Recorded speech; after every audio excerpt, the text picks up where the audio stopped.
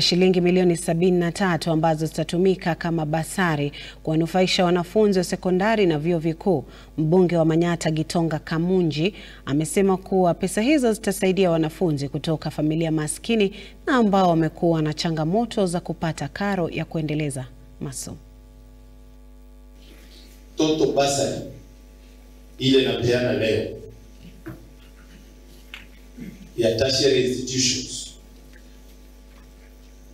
ni 12 million 216,000 Kenya shillings. Over 3,039 students wataweza kupe. The only people wale niliangalia vizuri ni wale watu wanaitwa orphans ambao waliapply bursaries au wengine wote niliwaweka kwa kategori moja, kwa sababu nayo lazima ugawe pesa sawa sawa. Ni maneno ya drug abuse, na nataka hii pia ishikwe vizuri, kwa sababu e, tunaongea maneno ya tertiary bursaries. Au ni mayouth wetu, wale mayouth wetu na wale watoto wetu, kwa sababu hapa kuna wazazi wako katika universities and colleges. Mimi naomba na naombea Mungu kila siku mjichunge, na mimi najua uchungu ya mzazi,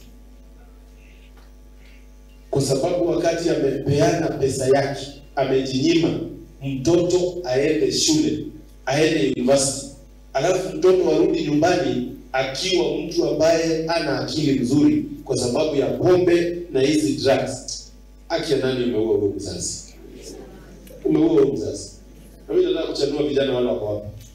Mimi nimesimama hapa, sijawahi tamani pombe, sijawahi tamani kuvuta sigara.